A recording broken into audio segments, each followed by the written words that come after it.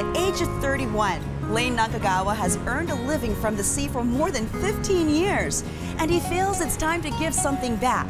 So he's teamed up with the Pacific Islands Fisheries Group to do just that.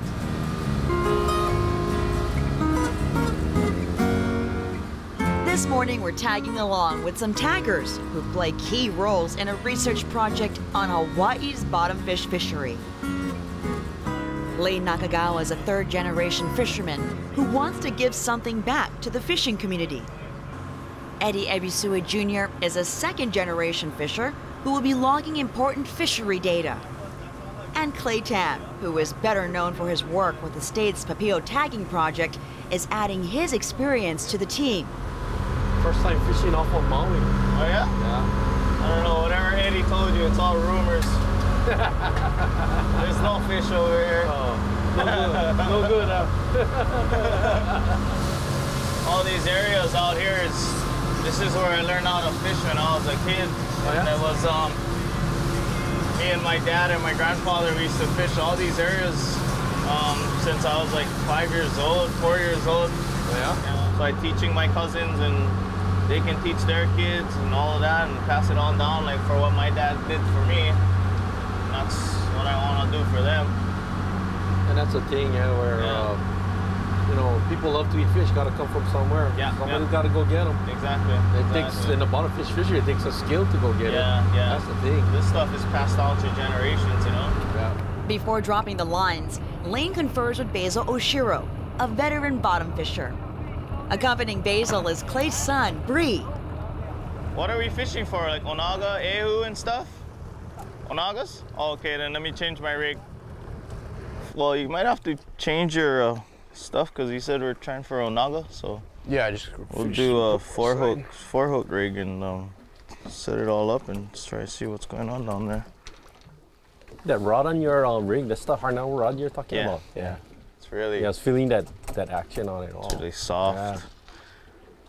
Catches a lot of tuna too, you know. It's good. Makes the you can walk away from the rod and it doesn't slack the line at all because it's so Mm. soft. It keeps the tension really good. I see. It's a good dual-purpose rod, you know. Mm. That rod came from my grandfather on my mother's side. Oh. Gave it to my dad, Wow. and then my dad gave it to me.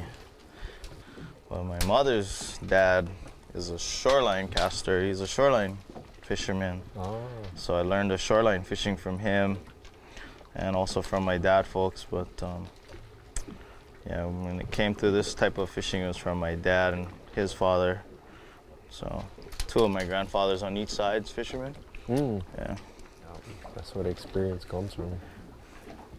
Okay, so here we go. On this trip, PIFG observer Eddie Ebisue will be recording more than just a number of fish caught and their size. We're taking all kinds of information and we log down how many reels you're using, how many hooks per line, how far you're fishing from the bottom, um, any type of predation, because that will affect uh, you know the, the outcome of the trip. Even uh, dragging anchor, all of that will ultimately end up affecting the fishing effort. So we're trying to get all this kind of information down, um, find out what kind of what kind of fish stock we have for uh, future management measures. All of this information will remain confidential and will be carefully analyzed to provide a much clearer picture to better manage the fishery. How much you putting in there? Just like two little handfuls just to uh, get some smell down there. Where are we at? 160. 160. Oh, wow. Let's see how it goes. Okay, Eddie boy. Yeah. Going overboard. Or, uh, oh, Molokai is super nice today.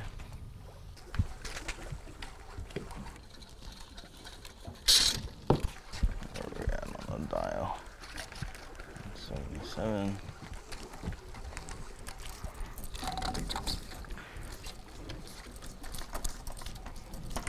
So lean on this knob. I don't have to touch it. Yeah, the drag. It's all set. Um, Play with the yeah, I guess you can play with it to see how it is. Okay, thanks. Got Any bites? I got one bite. As soon as it dropped. Oh, you haven't gone this deep in a while, huh? Yeah, you can tell I had a line. Your wind speed and direction. Mm, wind speed's kind of like east, about two knots maybe. And wave height. Mm, zero. Sorry, gotta ask. Yeah.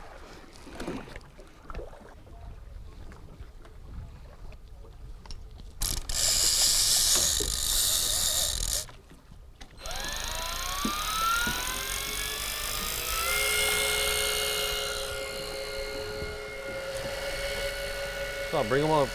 Yeah, we'll go uh, bring it up and we'll try to go back up. They just come right on. Yeah. There you go. Still got bait. Still got all the baits. Clay, get something. See, I knew I had something on that line. Wow. Oh, hey, who? Juveniles. Hey, it works. It works. You'll flip them in that bucket. Yep. Okay. Shooting the tag. That ehu's ready to go already. Yeah. The next few steps happen rather quickly. Layne uses a hollow metal tube to vent air from the fish's swim bladder. This will allow the fish to get back to the bottom easier. The stomach is also pushed back in. A dart tag with a unique identification number is put in place. And the fish is That measured. was number 61, huh? 35.5. Right after that, the fish is returned to the bottom, often with the aid of a special weight called a drop shot. There he goes. Very good. Successful. Good going. Good going. Let's go and uh, try and move back up towards Basil and see, get another drop in and see what's going on. Hey, it worked. dude.